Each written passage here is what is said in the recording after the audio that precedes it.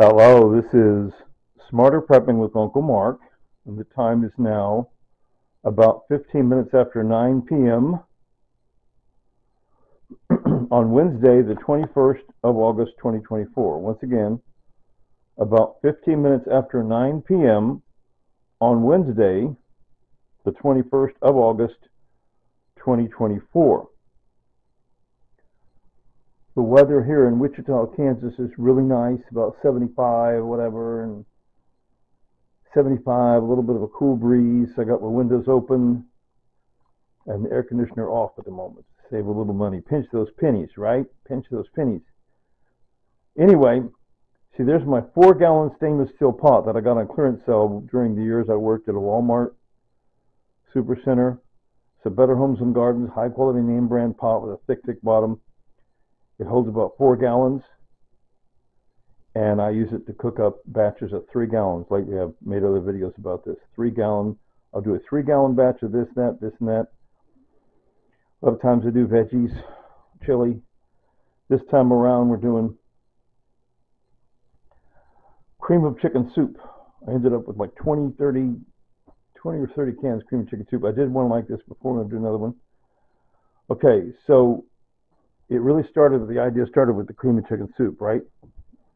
Best if used by date 2024, a couple of months ago. Okay, so it's just gone past the best if used by date, no problem.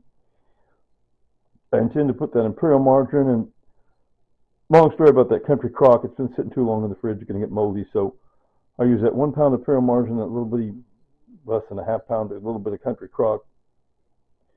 Excuse me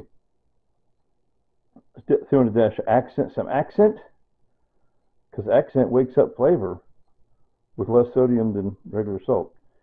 Then I put in some slap your mama on the back. Slap your mama on the back.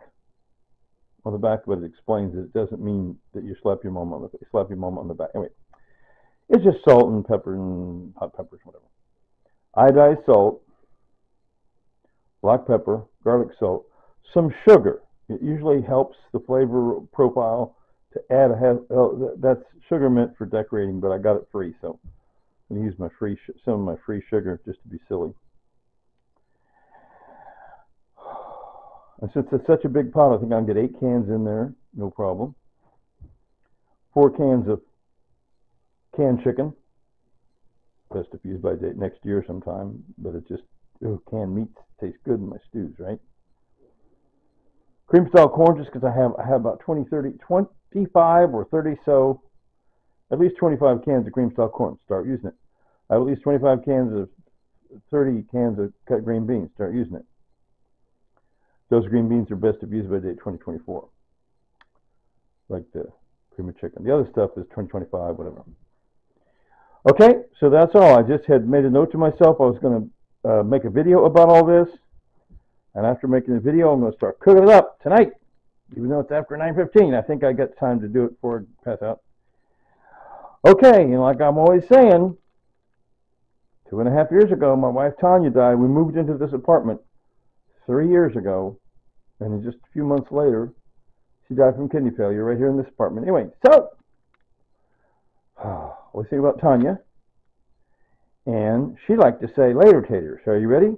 Three, two, one. Later, Tater.